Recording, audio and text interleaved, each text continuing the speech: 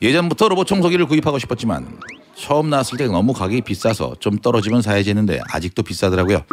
그래서 인터넷에 나온 중고를 구입했어요. 요즘 로봇 청소, 청소기처럼 똑똑한 건 아니고 그냥 왔다 갔다 하다가 뭐 닦는데 또 닦, 때또 닦고 또 닦고 뭐 하더라고요. 그래도 만족하고 대청소를 할 때 로봇 청소기를 돌렸는데 열어놓은 현관문으로 나가버린 거예요.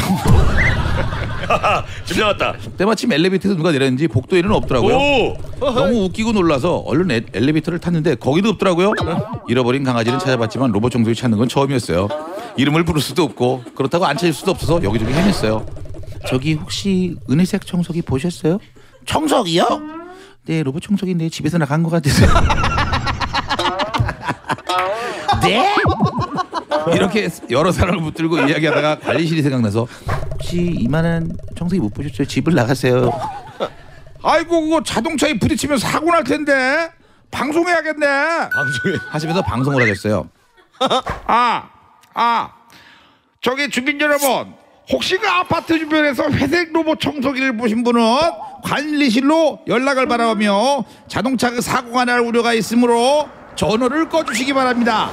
로봇 청소기가 집을 나갔대요 로봇 청소기는 아파트 놀이터에서 발견됐는데 저희 집하 저희 집하고 꽤 멀리 떨어진 곳이었어요. 다시는 문 열어놓고 청소하지 않습니다. 와 아니 계단이 없는 데인가 보다. 사연. 진포 명품